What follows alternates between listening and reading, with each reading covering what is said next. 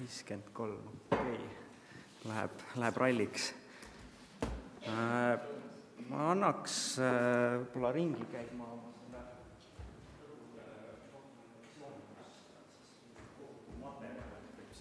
kõrvale,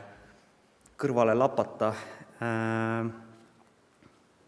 jah,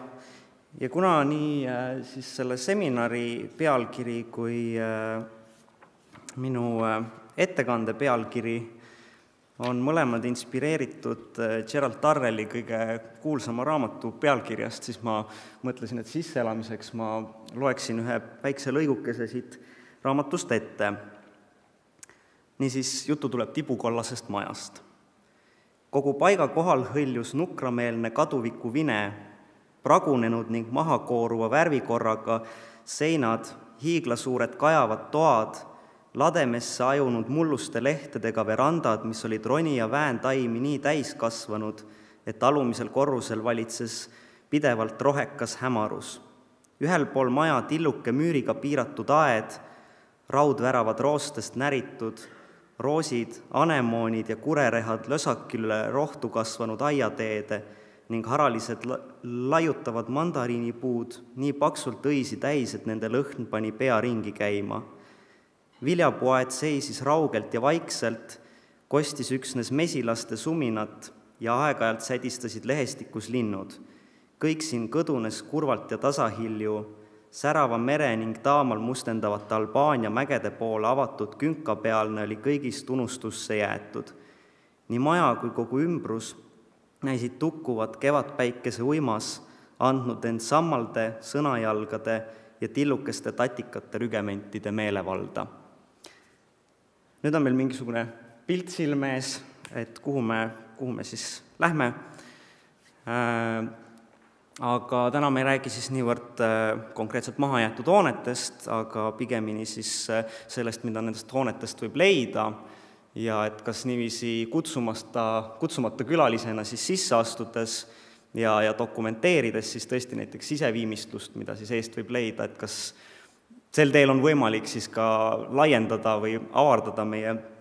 olemasolevaid teadmisi siseviimistlus- ja ruumikujundustavade kohta. Teema on õige mitmel põhjusel aktuaalne,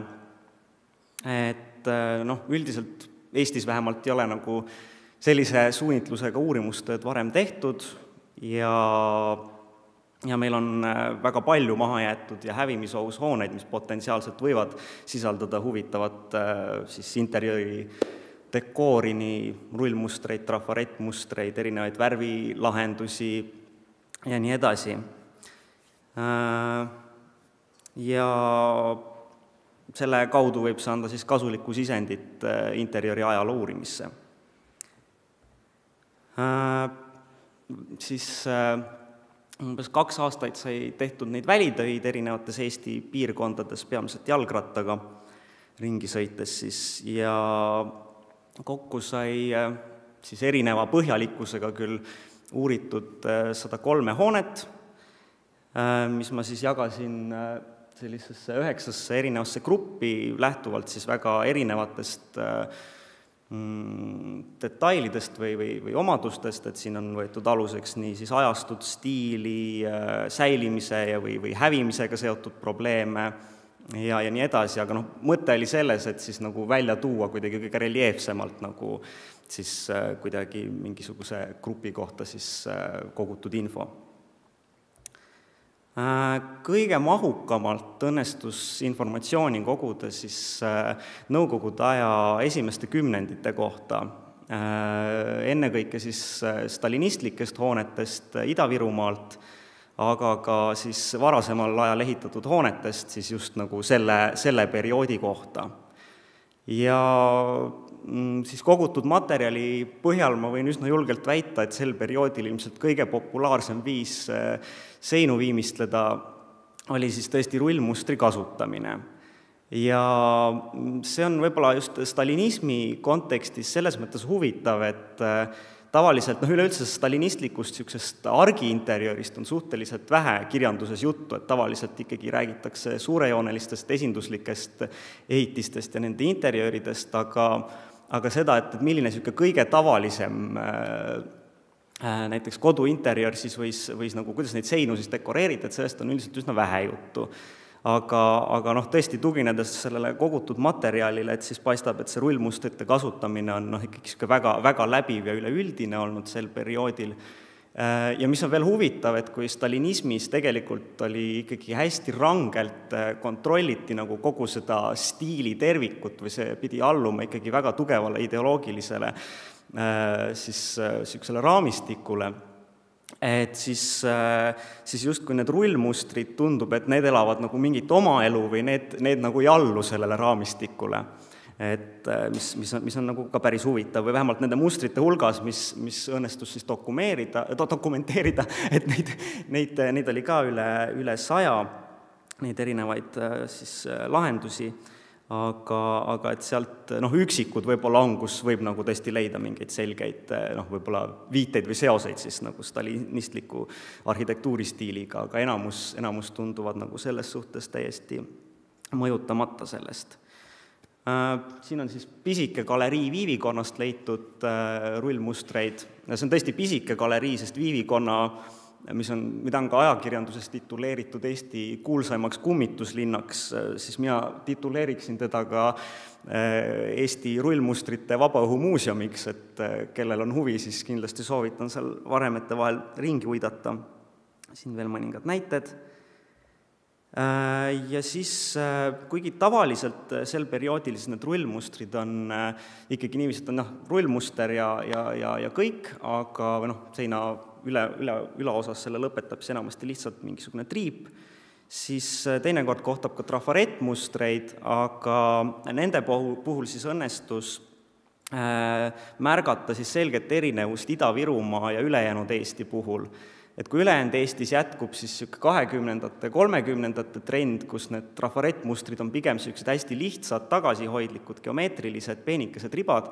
siis äh, Ida-Virumaalt õnnestus vastupidi leida siis niisuguseid keerukaid äh, lopsaka, Eesti kontekstis võib-olla ka võõrapärase motiivistikuga äh, mustreid. jah, ja siis üks detail, millele mu mm, tähelepanu juhtis siis Hannes Herman, et tegelikult sel perioodil ka siis sageli kasutati ka rullmustreid näiteks äh, tootmishoonete interjööri kujundamiseks, mida siis varem ja hiljem ei ole nagu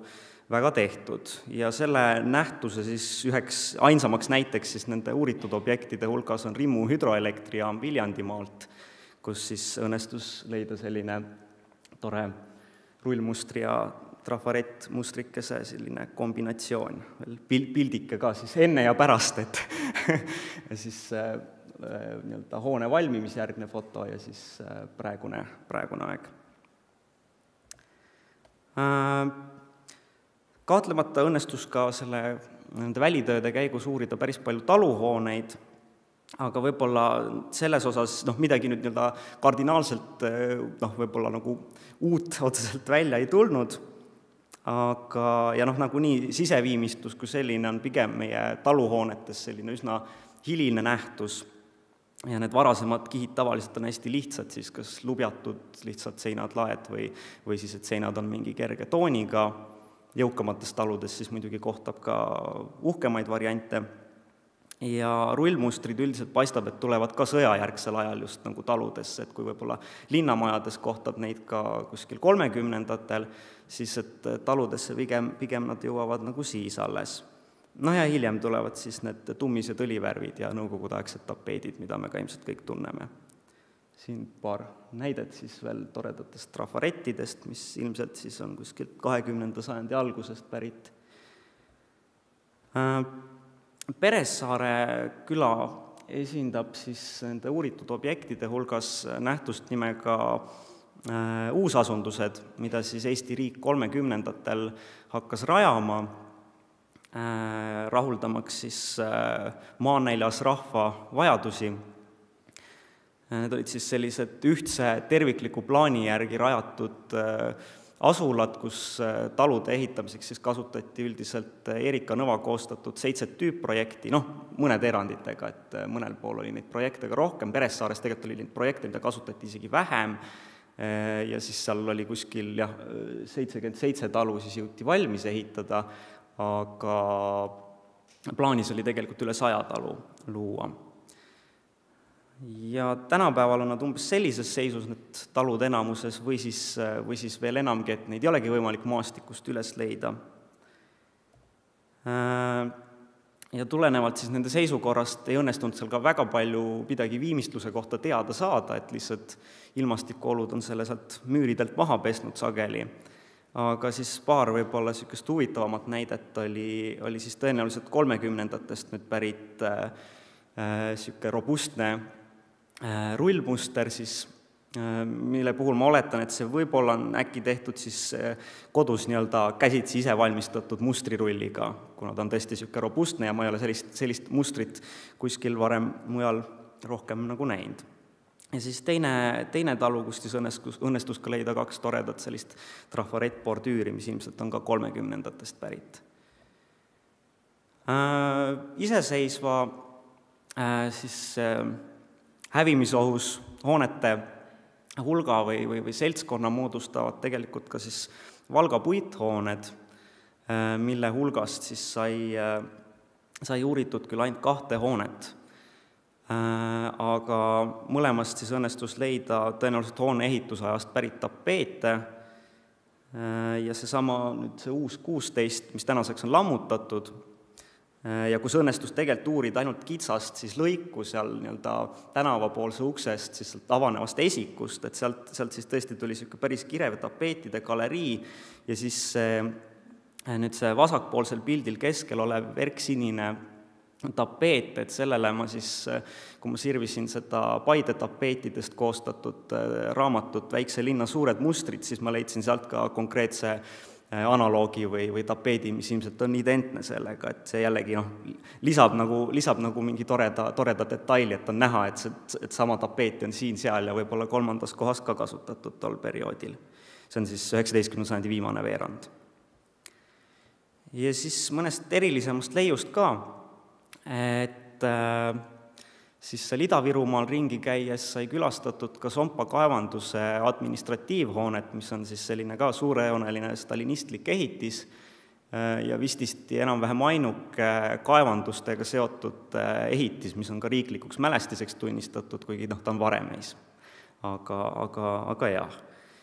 Äh, ja siis selle kaevanduse peahoone siis sealt taga on selline spordisaali korpus ja selle seintelt siis õnnestus leida selline tore Äh, maalitud tahveldistega siis äh, äh, interjöörikujundus või, või või seinte, seinte viimistlus, mis on selles mõttes jällegi noh, hästi niisugune ehtstalinistlik, et kui noh, mujal muidu noh, nii-öelda kahekümnendatel, kolmekümnendatel selline seinte liigendamine selliste maalitud tahveldistega pigem nagu kaob ära või, või võib-olla haruharva kuskil Äh, nii-öelda läheb, see noh, asi läheb moest välja, siis äh, teadupärast ju stalinismiga noh, pöördutakse tagasi ju ka klassitsismi ja igasuguste ajalooliste eeskujude poole ja siis, siis siin on nagu jah, näide siis, kuidas see on, see on jällegi jõuliselt tagasi tulnud. Mm,, natuke veel hoonet ja, ja rekonstruktsiooni sellest ruumist. Äh, ja siis tegelikult sama projekti järgi rajati veel mitu teist äh, kaevanduse nii-öelda seda peahoonet või, või administratiivhoonet ja neist ainsana on alles Tammiku kaevandus ja võib-olla oleks päris huvitav tegelikult uurida, et, et kas, kas see spordisaali siis viimistluslahendus, et kas see oli ka tüüpne lahendus, et kas seda on korratud või see oli ikkagi niisugune ainukordne. et selles mõttes see Tammiku kaevandus võib-olla võimaldaks seda uurida, noh teine asi saaks ka võib-olla mingit fotomaterjali uurida, mis võimaldaks ka vaadata, et mis nendes praeguseks lammutatud kaevandustes oli, aga aga kindlasti, kindlasti see oleks, see oleks põnev seda uurida. ja siis äh, see leid on nüüd ennekõike siis teostuse mõttes huvitav, et äh, põhimõtteliselt see on siis freskotehnikas teostatud rullmuster, äh, mille siis, mis õnnestus ühest Valgamaal olevast talust leida kus siis tõesti on sisuliselt värjale krohvile siis mustrirulliga see muster tehtud niiviisi, et see mustrirull on siis sinna krohvi sisse ka selle mustri vajutanud lausa ja see pind on reljeefne. nii, kas keegi ütleb kella mulle?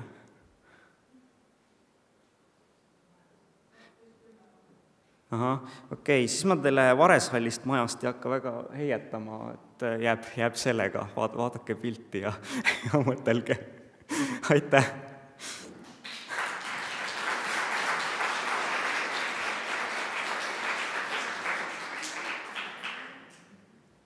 Aitäh väga põneva ettekande eest, kas on saalis küsimusi? tere, mul on hoopis teistmoodi küsimus, et kas sellises formaadis uurimistöö tervise peale ei hakanud, mis naabrivalve arvas? No enamasti nendes kohtades väga, väga naabreid ei olnud. pigemini, et, et seal see toimivat naabrivalvet ei olnud väga jah, aga tervisele vist väga nagu ei hakanud, kuigi praegu mul on küll nagu tervis natuke kehva, aga ma arvan, et see on pigem, pigem, pigem siin sellesügisestest ilmadest, mitte, mitte mingitest äh, seentest ja muudest, äh, muudest nähtustest, aga mis, mis võiksid nagu seda põhjustada, aga noh, ega ma nendes hoonetes ju ka väga pikalt ei viibinud ühes kohas, et et sageli see külastus oli ka küllalt põgus või, või nii-öelda, et, et ma arvan, ma arvan, see, see võib-olla hoidis nii, veel küsimusi? ma küsiks siis ise, kui praegu tundub, et ei ole, et sa mainisid, et üks rullmuster oli nagu teistsugune, paistis välja, et kas nad siis tihti kordusid, kas sa märkasid nagu samu lahendusi, samu äh, rulle? Äh, jaa, ei, korduvad küll, kuigi mitte kõik, et noh, oli tõesti nii selliseid, mis, mida, mida väga laialt võis leida ja noh, ka Eesti mõttes, et võis olla nii Ida-Virumaal kui Valgamaal kui kuskil Viljandimaal, aga, aga oli ka selliseid, mida õnnestus leida küll võib-olla ainult ainueksemplar, aga ma kahtlustan, et mida võib-olla veel kuskil kindlasti on. on ka muidugi mingeid imelikke mustreid, mille puhul ma, ma, ma ei ole neid rohkem näinud ja ma ei tea, kust nad tulid ja aga, aga, aga jah, et, et, et kõike on. milline see kõige populaarsem siis oli, mis motiiviga või? no vist hästi, hästi tuntud on see viinamarja motiiviga rullmuster, mida, mida nagu varasemalt on ka igal pool minu meelest äh, publitseeritud ja, ja, ja näha olnud, aga.